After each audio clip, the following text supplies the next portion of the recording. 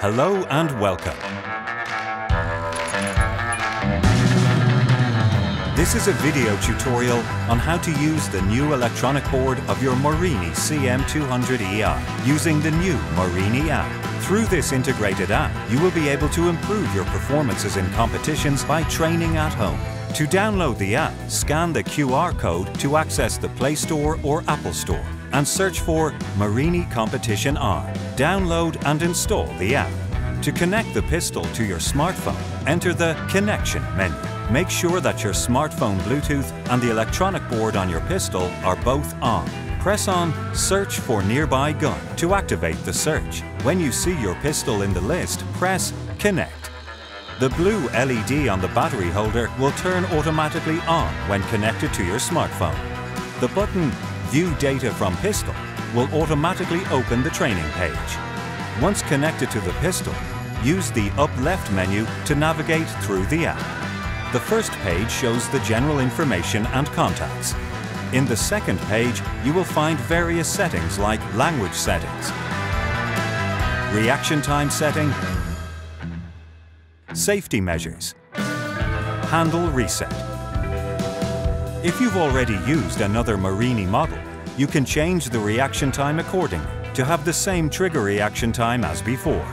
You can activate, deactivate the safety measures at any time. When safety measures are activated, the pistol will shoot only when pointing at a target.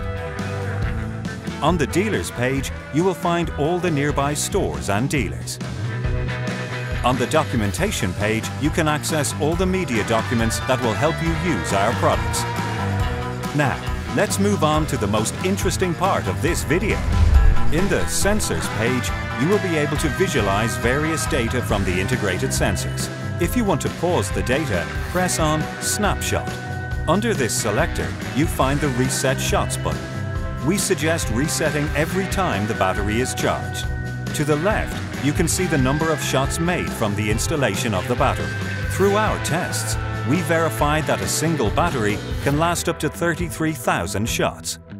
If you want to save your shooting data, be sure the function Save Data is selected.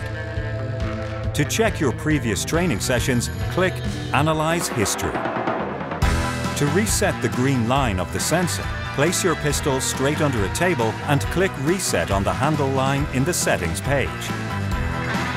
In case of malfunctions, the new electronic board gives some error codes that are displayed after turning on testing. One blink, trigger contacts are open, set the second stage spring heavy. Two blinks, faulty solenoid, contact your dealer. Three blinks, faulty electronic board, contact your dealer.